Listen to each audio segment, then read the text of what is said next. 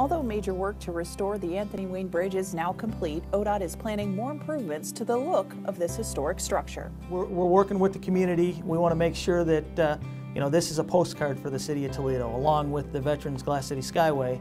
Uh, this structure is another postcard for the city of Toledo and the original one. Beginning this summer through 2017, the bridge will be painted blue to match the Martin Luther King Jr. Bridge downstream.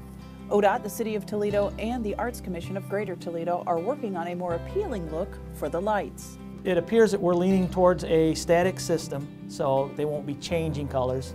Uh, but uh, whether they'll be all white like they are now, or whether they'll be uh, some other combination is what's being uh, evaluated at this time. At the same time, work will begin to preserve the cables. In the spring of 18, we're looking to preserve the cables by uh, adding a dehumidification to the cables. We're going to bring in dry air to make sure that the cables will not rust and uh, that will happen and then with that will be the uh, static lighting. The good news, the bridge will remain open during all of the upcoming work with single lane restrictions in each direction.